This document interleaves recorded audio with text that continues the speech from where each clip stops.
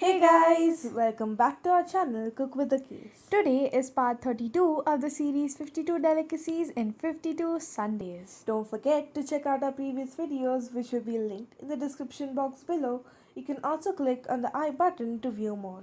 Don't forget to like, share and subscribe to our channel. Do remember that we post every single Sunday, so watch out for new and amazing recipes. Today we are going to be making some delicious pani puri. So without any further ado, let's get into our video.